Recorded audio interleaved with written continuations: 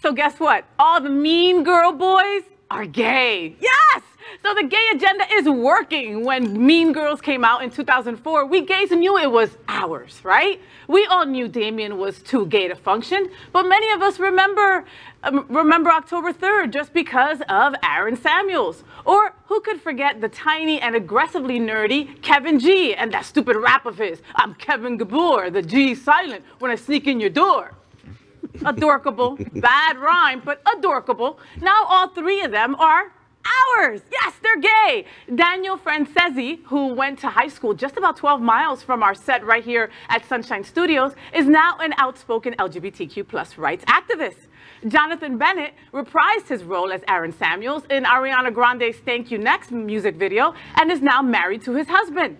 Rajiv Surendra moved to Germany before becoming before coming out. We're happy to have them all on our gay team. It's the gay agenda gone wild. You know, we also had uh, Lindsay Lohan for a hot minute. For a hot but, minute. But we gave her back. And Miley Cyrus, Yeah. we had her for a hot minute Yeah. too. yeah, I'll take her back though. I love Miley. Um, I think that that's what happens when you hang out with Tina Fey, probably, you know. you turn gay. you turn gay, yeah.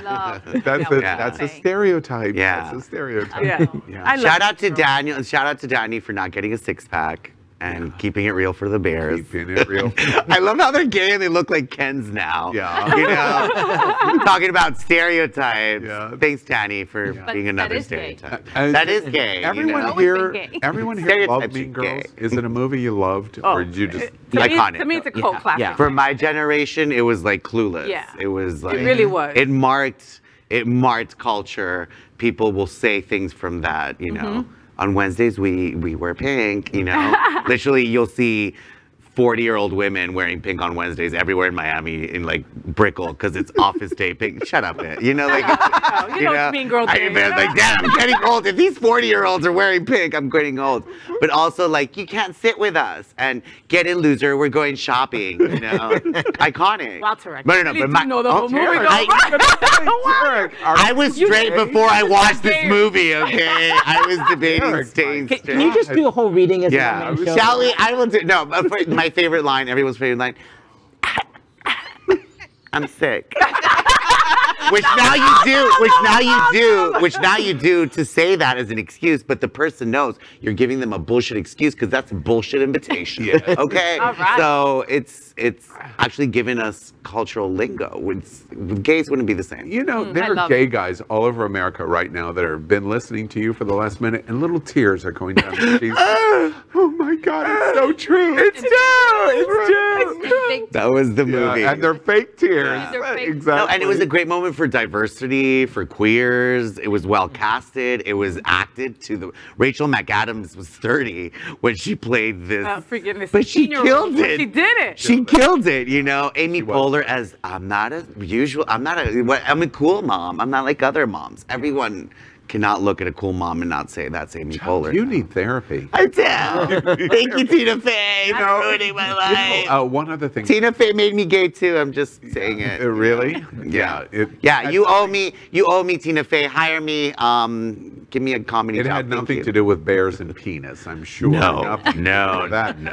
Um, no. I, just one last thing, not to not to bring down the humor of Mean Girls, but does anybody think that Mean Girls was what 2004? Yeah. Or- Yeah. Yeah. About. All right. So Mean Girls in 2004, Mean Girls today wouldn't stand up if it was made to, uh, made today because this whole new cultural phenomenon has taken place in the Mean Girls set called Karen. And Karen is really a mean girl. Yeah. And not in a funny way. Mean girls are not funny anymore. They're dangerous. They're so you, so you're, dangerous. you're saying that the mean girls grew up to be Karens? Yeah. Uh, well, uh, uh, I- I- if Could you, be. I think back then I we laughed at that them did. behavior, but now we recognize that that behavior is dangerous, It's dangerous. and that especially bullies uh, who are part of you know a very seg- segregated high schools where there's a white population that's the majority, and maybe there's a few kids that are of color or of a different economic standard. You know, Yeah. um, that can you know grow up to be dangerous. Yeah. Well, know? let me take a moment and apologize to all those people that I told that you can't sit with me. Yeah. All right? Because I told a lot of people. I was going to say, hello,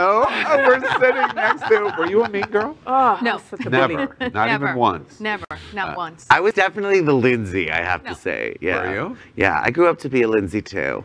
Not kidding. You know, I was a mean girl. That's ah, That's You why were? I love you. That's why I love I, you. I, I was. I was. Yeah. But I was never a Karen. There's a difference. Mm. All right. You're a nicer man. LGBTQ plus news is vital for our community and for the broader world as a whole. We have enough enemies at Fox News. Tucker, Sean, and Lara are loud. We need passionate allies. Happening Out Television Network, Queer News Tonight, and It's Happening Out are literally out of the closet and into the headlines. Our community needs your support like this broadcast and subscribe now to ensure the growth of the entire LGBTQ